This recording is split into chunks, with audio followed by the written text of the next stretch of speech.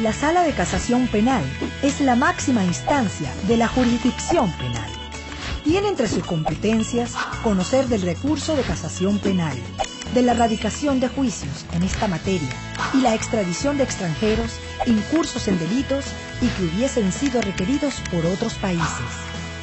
La sala está conformada por cinco magistrados y magistradas quienes trabajan para garantizar la celeridad en los procesos penales, combatiendo la impunidad, consolidando un Estado democrático y social de derecho y de justicia.